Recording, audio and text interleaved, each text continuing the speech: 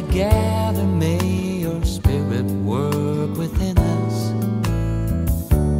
As we gather, may we glorify your name, knowing well that as our hearts begin to worship,